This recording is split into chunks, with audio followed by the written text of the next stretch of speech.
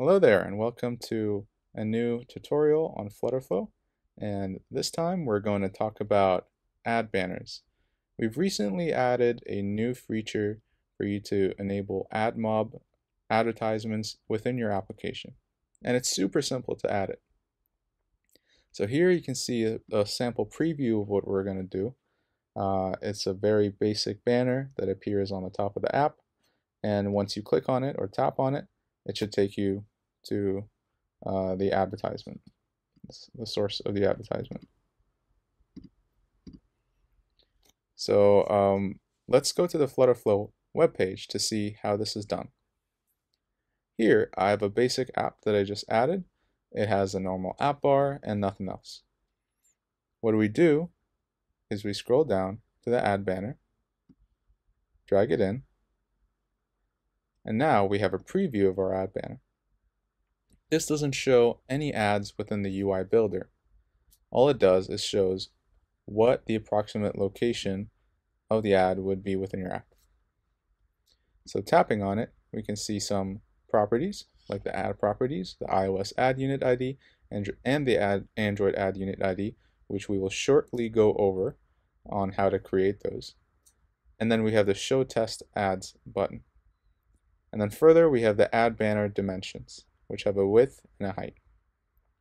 So um, we will go with something like 100 pixels of height and full width.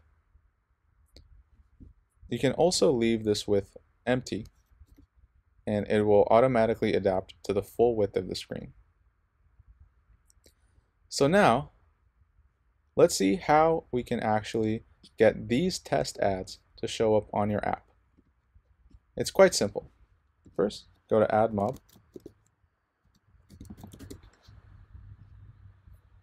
Sign in. And now you can see a dashboard of AdMob. AdMob is a part of Google, so all you really need is a Google account. Now go to Apps, and then select Add App. Now to create a new AdMob app, you have to specify what platform it is. So for a Flutter app, you would need to create two different AdMob apps, one for each platform, Android and iOS. I'm going to go ahead and create an iOS AdMob app. Then it's going to ask me whether the app is listed on a supported app store. So if your app is currently not on the app store, you can select no. But if it is, then you select yes. So far, our app is not on the App Store, so we're going to go with no. The reason why they asked this question is because AdMob will not review your created app unless it is on the App Store. And in order to show actual advertisements and to generate revenue from your apps, you need to select yes to this and also supply the URL for your app on the App Store or on the Google Play Store. So for now, we're going to go with no and continue. Then we're going to give the app a name. Testing AdMob. Very simple. Now this is um, this tells Google whether you want them to take user measures. So no, really doesn't matter for a test app. So we're just going to hit Add App. Now that we successfully added the testing app, we can see this basic dashboard. What we need to do now is to create an ad unit. Hit on the ad unit button and then hit on the ad banner. The ad banner is one of multiple advertisement methods and the one that is supported on Flutterflow. So make sure to click on this one and then give it a name. So banner. That's just the basic name that I give to it. And now I have created the ad unit and have the details required for adding it to the application. So uh, when I hit done, I can see a list of the ad units that I've created for my application. Now let's go to Flutterflow and see what is required for this AdMob banner to work correctly. First, let's go to the App Settings tab. Over here, you can see that there's a new AdMob tab that has appeared. And it has two fields, one for an AdMob iOS app key and one for an AdMob Android app key. So go to Google AdMob, click on your banner, click on Implementation Instructions, and you can see that the first number is your app key for iOS. You can see the Apple logo next to it. Right. This app is an iOS app anyways, so the app key will only work for iOS. So we're going to copy that, go to Flutterflow, paste it in the AdMob iOS app key. Now, since we're not testing it on Android right now, it doesn't matter wh whether we have the Android app key or not. You could create a new Android app and then paste it in here. So the next step is to go into the UI builder, tap on the AdMob banner, and add the iOS Ad Unit ID. Now note that these two IDs are different from each other. There's an ID for the app itself, the whole app, and then there's an ID specifically for the ad banner. So I'm going to go on the Google AdMob tab, and the second number is the ad unit ID. So I'm going to copy that, go into Flutterflow, paste it in, and now I'm pretty much all done. Um, all I really need to do is uh, download the app. Now, a couple caveats here. As I said before, because your app is currently not reviewed, as you can see here,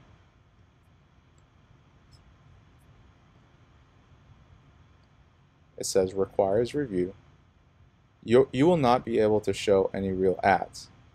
So what you should do and what Google requires you to do if your app is not approved yet and when you're testing your app is to show test ads.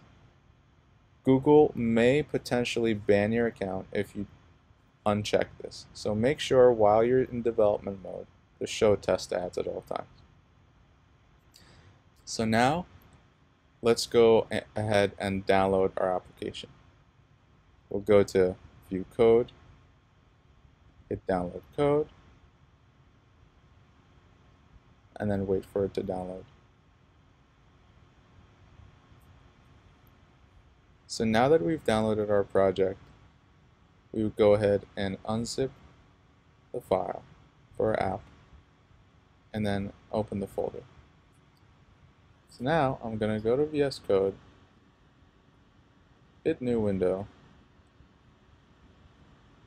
click open, go to downloads, select the ads test folder for our code gen, and then hit open.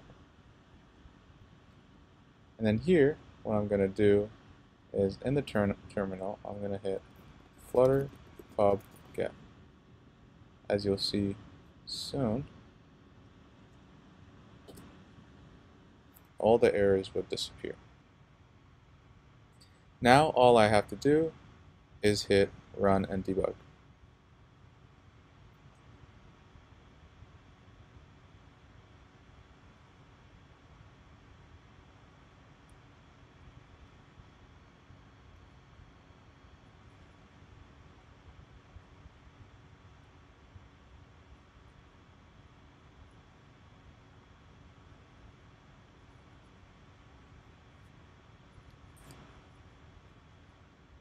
Now our app opens and we can see the test ad appearing on the top. It's as easy as that. There's no more setup that you would need to do. And uh, yeah, once you've published your app on the App Store, then you can go back to Google AdMob. And then here, what you can do is go to App Settings, and then select add app store. Once here you can search your app for a name. For example if your app's name is Uber. You can search for that and then hit add. And then once you hit save then um, Google will go ahead and start reviewing your app. Once your app has finished review, all you need to do is go back to your project and then disable show test ads.